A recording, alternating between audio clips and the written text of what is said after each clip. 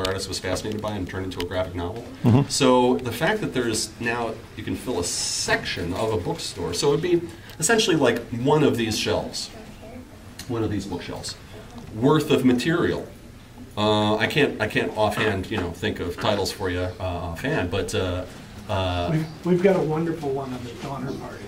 oh, Oh, there you nice. go. Very dark. There you go. Right, like just just last week, I picked up um, a book called uh, "The Black Ships" about Admiral Perry and the opening of Japan, and, and and and actually before that, because I'm, I'm a big fan of Japanese history, I picked up um, a multi-manga part thick thing called Showa about Japan's history in between, like uh, in the lead up to World War II, and how they went from you know like being an interesting, cool republic to this bizarre fascist dictatorship.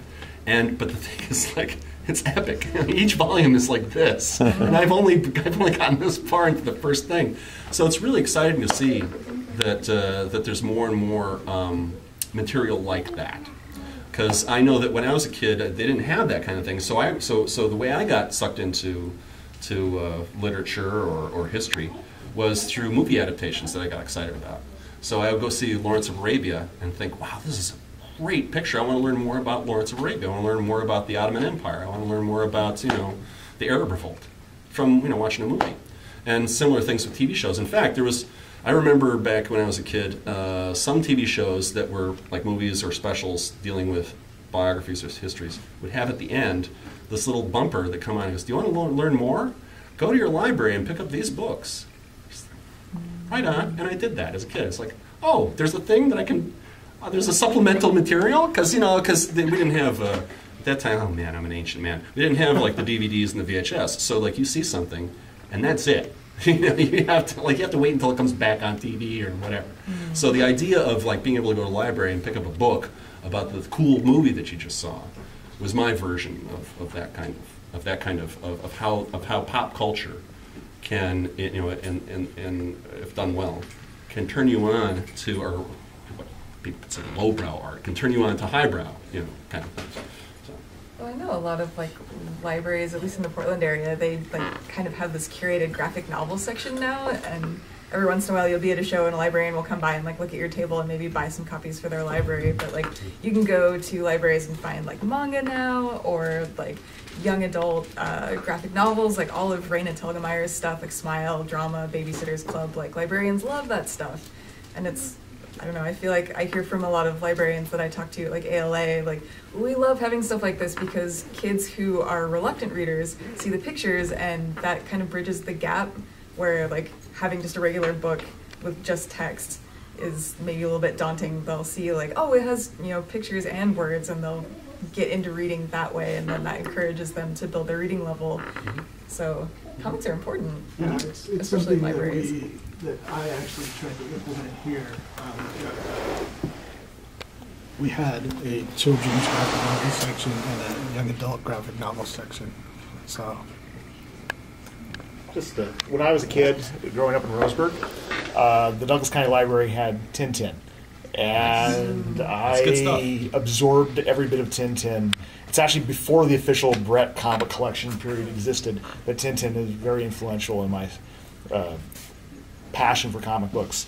and mine as Um, well. That, that was a huge favorite of mine as a kid. Tintin was I mean because it, it was cleanly drawn. It was very elegant. And it, he was traveling all over the world, and the author was really into making sure that you know he did his homework, and so everything looked great. So that was those very worn, beat up copies in the Douglas County Library in the early '80s. So. Oh, I think the first comic I checked out from my library in Westland was Akira, Mm. because I had seen the anime and I was really excited. I wanted to like read the actual comic, and they had like one. I didn't realize that it was like six volumes worth, but my library only had like the first book. I remember checking it out and just being like, I can get this at the library. This is amazing.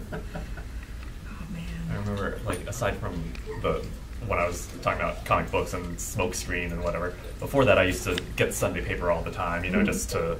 And before they started collecting them, I used to just cut cut out Calvin and Hobbes in Bloom County and just save them. So I had a huge, like, That's stuff. smart. Um, well, and then they started releasing the books, and I just threw them all away.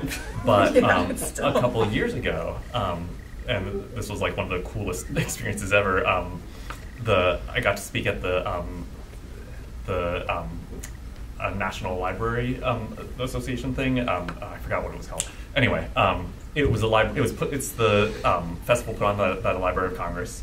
So Oh. they um, they had me speak there, and that was you know amazing. But then the the lady who um, who was my primary contact, she took me into the Library of Congress and. They just she said is there anything you'd like to see and i said oh if you have any original art from um, Berke Breathed or bill watterson who did calvin and hobbes from Bloom County and she said we don't have any bill watterson but we have Berke Breathed and i got to see like original stuff that he had drawn and i was like this is badass Nice. I didn't realize they kept stuff like that. yeah Library of Congress. That's yeah amazing. it was it was awesome they, they asked me to donate a page i was like What? awesome put me next to Berke Breathed and they were like no Sorry. Alphabetically. That's right. Yeah, that's true. Yeah. Grease, Chao. It's all good. Bummer, man. But that's really cool, though.